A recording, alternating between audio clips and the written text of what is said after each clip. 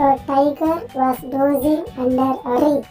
A mosquito tiger said, Hey mosquito, go away. The mosquito said, Why should I go away? I am not afraid of you. The tiger was angry. He hit out with his paw. The mosquito flew off. The paw stuck his own cheek. The blow scraped his cheek.